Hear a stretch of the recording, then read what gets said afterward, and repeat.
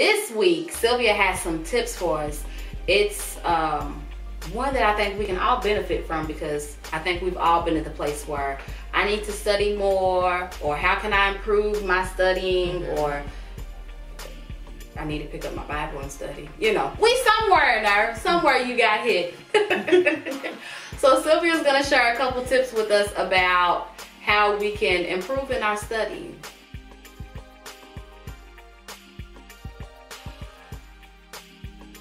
Uh, tip two. If you want to um, spend more time in your Bible, get better at understanding the Bible, learn your Bible, you're going to have to study it. and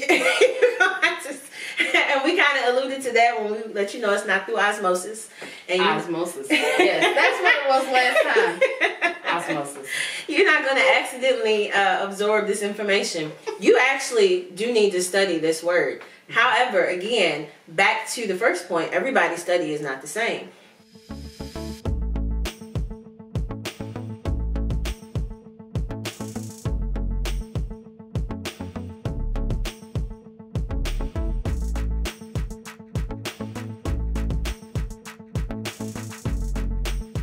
Sometimes I like to go listen to speakers. Sometimes I will listen to podcasts. Sometimes I will read um, specific um, study guides and Bible plans. I'm actually working on a plan right now. And it is the Bible in chronological order. And so if you're not familiar with the Bible, it's not like page one, day one. It actually is on page one. But but a few pages in, that shifts. and so it's not happening in sequence mm-hmm. according to the pages you turn it. And so I've decided to study it that way, and it has been like really opens your mind up. Yeah, because I thought about stuff. Some people have group studies, mm-hmm. and that, they have discussions back and forth with like-minded people. And our church, we have the Young Women's Christian Council, and that's more like life application to the Bible. Mm-hmm. But you know, youth groups, singles groups, married groups, um, young adult groups. There are many ways to do Bible study.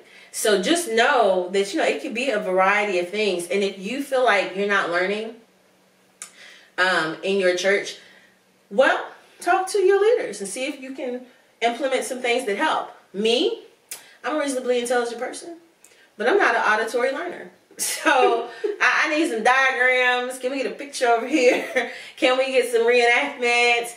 Uh, you know, some group participation. Break it down, make it come alive. yes, make it come alive, have some dialogue back and forth. You know, so when someone gets up and speaks and they're just reading to me from the page, I don't necessarily get it.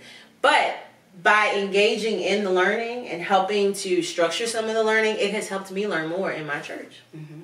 So don't just pull away, you know, if it's like not penetrating to you. I don't understand. That's right. usually people's thing. I don't understand what I'm reading. Yes, mm-hmm. but you there are other ways to get it. So just know that yes, you know we have that um, that standard method of thinking that Bible study works. Know that Bible study is the learning of the Word, mm-hmm. and you can do it in many ways. Mm-hmm. Some people really love Sunday school and Bible study, and that's how they have learned the Word. Um, you well, that is where you learn right the Word.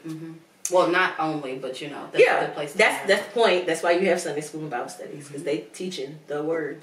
If you're at a place where you really don't know where to start and you're not comfortable picking a particular thing to study, go along with what your church is doing at that time. Mm-hmm. If you open your Bible up and you're like, ah, I don't know, study your Sunday school lesson because mm-hmm. that's a good start, and then you can study it and let the Lord deal with you in it, and then you'll go and you'll be able to have discussion, and you can be a part of it, and the discussion becomes meaningful because I have I have something that I can impl- I can add to the conversation instead of just having to listen to everybody else talk. Because Sunday morning, if the pastor says something, you can't be like, "Excuse me, pastor, you said, can you break that down?" No, but in Sunday school or also whatever you're studying in Bible study, if you find out, um, if you're using a book or if you're doing something else, if you find out what it is that you're going to be studying that week, yep. look into it so that when you arrive, you can participate because participation in the study makes a world of a difference. And participation isn't just me chiming in. As you were talking, I was thinking about questions. Particip- participation is bringing those questions. Mm-hmm. There are so many times I come across something in the Bible and I'm like, oh, wait a minute. because it's not like how I live right now, and mm-hmm. I'm not familiar with this culture this time. So I always have questions. And so bring those to the group. Maybe you didn't, maybe you read it. You're not the only one that had the question. Just no. Go. You're not the only one. No. Somebody else thought about it too. you might have read it front was backwards, the King James Version, the NIV, the Amplified. I don't get it. okay.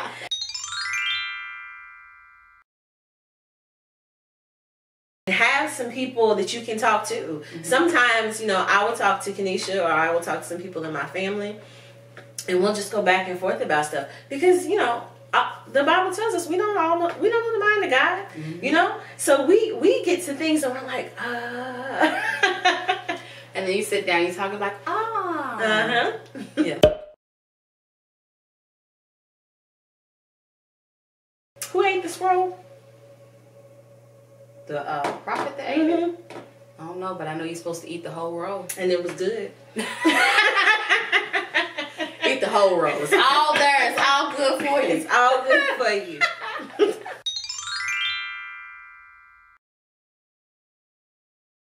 Give yourself um, some challenges. Read a little deeper. Maybe you started studying, you know, an hour a day, or maybe you started 30 minutes a day or two times a week um, but grow in that.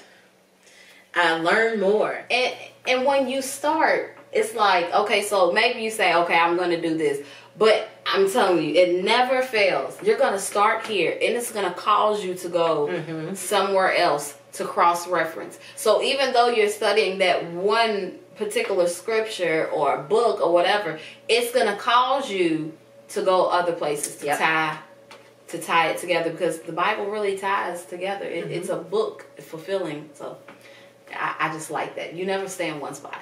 You're gonna learn. Mm-hmm. So just know that study must happen.